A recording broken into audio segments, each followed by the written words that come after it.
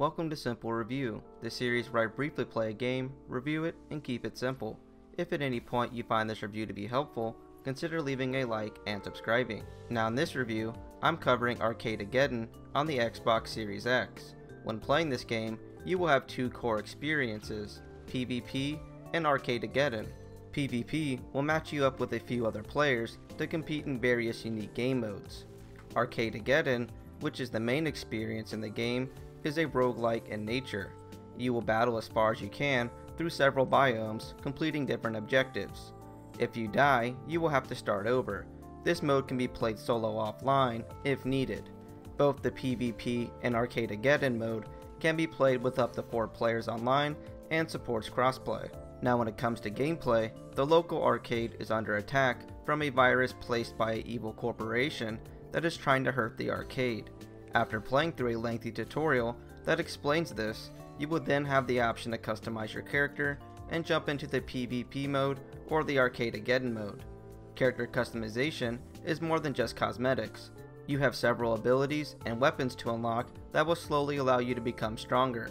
All this can be done at the expense of an in-game currency earned by completing challenges or by normal gameplay. These challenges are usually pretty simple, like killing a certain amount of enemies, getting long range kills, and so on. Once in Arcadegeddon, you will load into a biome with your selection of abilities and weapons and begin the run. Dying during your run will end your adventure and send you back into the arcade.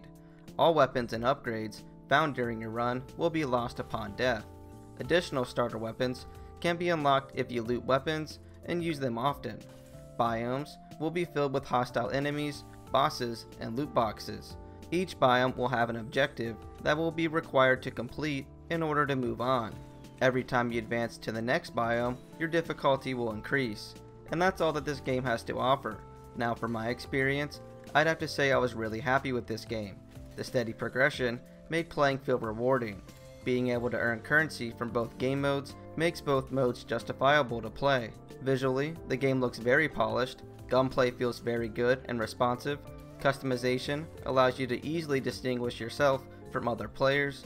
I did find that the objectives got a little repetitive throughout the runs, and story-wise, the game was lacking. But besides that, I really can't complain about anything. So with that being said, I'd have to give Arcadegeddon 9 pepperonis out of 10. And that'll do it for this review. Comment below if you have any questions, and I will try to help.